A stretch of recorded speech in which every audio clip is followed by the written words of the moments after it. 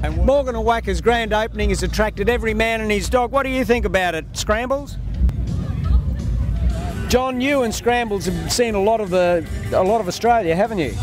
Uh, yes, over the years, Mark, yeah, we've done a bit of outback travel and up and down the east coast and the west coast and around and about. And uh, yeah, the uh, fresh air and breeze through your hair, what you got left anyway.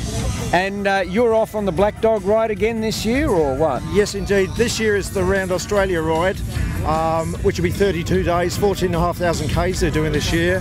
Uh, limited number of bikes on the whole ride, but each state will have state rides where groups of riders will join the ride for a couple of days, then peel off.